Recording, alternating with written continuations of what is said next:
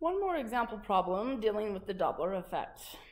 As you stand by the side of the road, a car approaches you at a constant speed, sounding its horn, and you hear a frequency of 80 hertz. After the car goes by, you hear a frequency of 60 hertz. What is the speed of the car? So we know our Doppler effect equation. We hear a higher or lower frequency because of motion either towards or away. Now, in this particular case, the observer is not moving, us. And so this equation simplifies and we have V over V.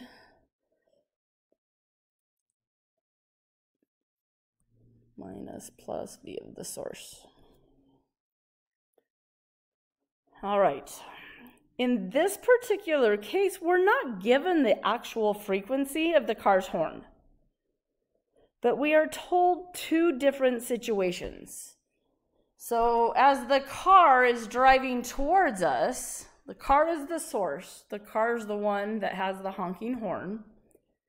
As that drives towards us, we hear, so F plus or minus is 80 hertz. That's what we hear.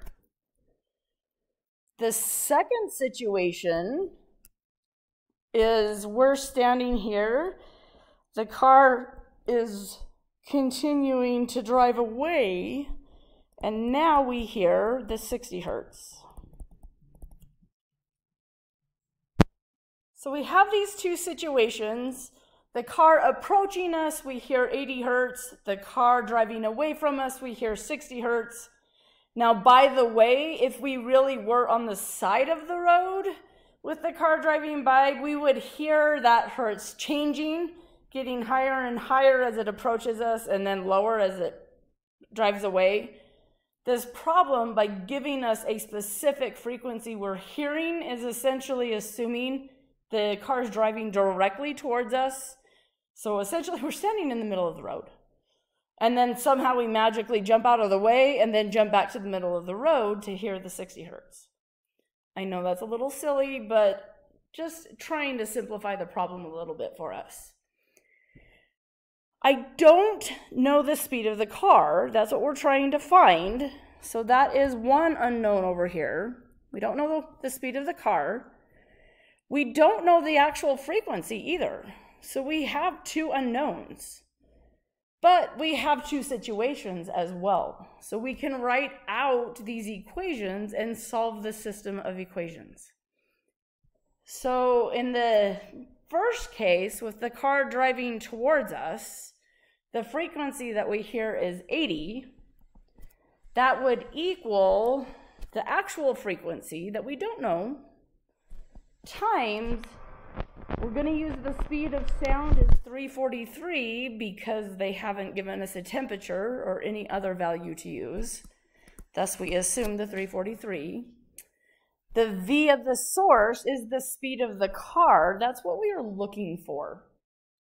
Now, the sign, we need that negative sign because the top of those two signs represents the motion towards. So here's one equation with two unknowns. The other equation is going to be similar, except for we hear 60. It's the, going to be the same F naught. We don't happen to know what it is, but it's the same. The car is traveling the same speed. The problem tells us it's a constant speed. The difference is going to be the sign in this denominator. So the sign is different because now the car is driving away from us. So we need to do a little substitution here. We know F naught is the same. We know V of the source is the same. So let's just solve for F naught. So 80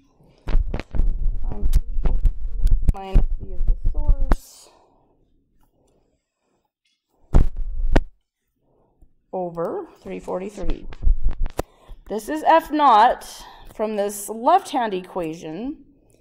If we put it over here,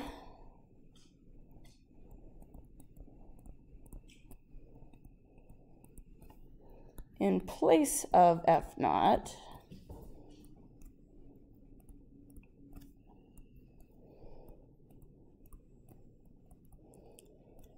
Now, this is not the only way to go about the substitution, but most students are familiar with substitution, so that's why I'm approaching it this way. This 343 cancels, that's nice.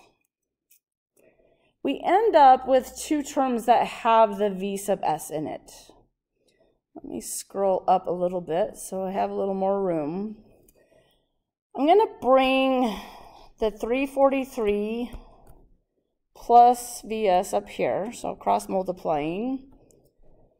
And that leaves me with the 80 times the 343 minus vs.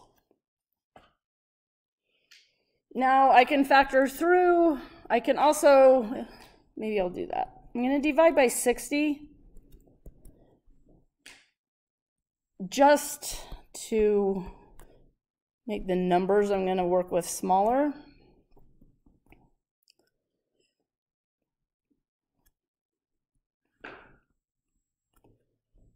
So 343 minus Vs. So factoring through on that right side, I'm sorry, this lag in my computer, I don't know which letters and numbers are going to show up. Fill in the blank. So factoring that through, and then 8 sixths is 1.33.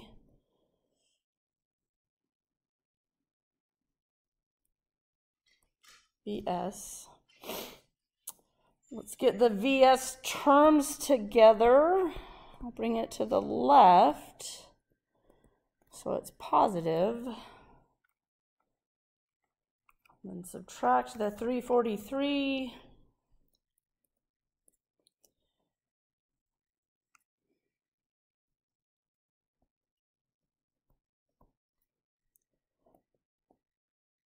Divide by the 2.333.